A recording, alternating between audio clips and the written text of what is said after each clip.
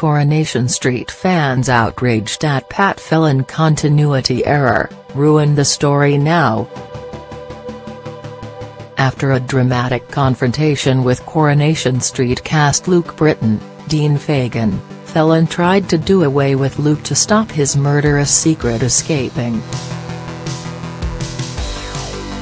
After Phelan hit him Luke over the head with a rock, Luke fought back and knocked Phelan out, leaving him face up on the floor.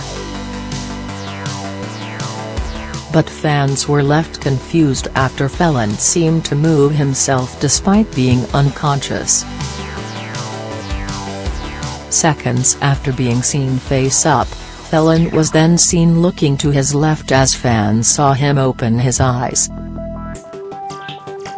They took to social media to point out the continuity error. One posted, Phelan was on his back and woke up on his side. Another added, Phelan was on his back, and next scene was suddenly turned onto his side. Continuity issue there Corrie? A third chipped in, how did a passed out Phelan move from his front to onto his side FNS? A fourth wrote, this Pat Phelan is ruined for me, it just makes no sense.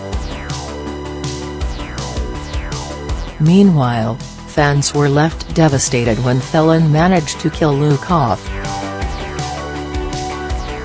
He caught up with him in a road race before shooting him through the windscreen. In a dramatic conclusion, Phelan then blew up Luke's car, meaning there was no chance of survival. Corrie continues on Monday at 7.30 p.m. on ITV.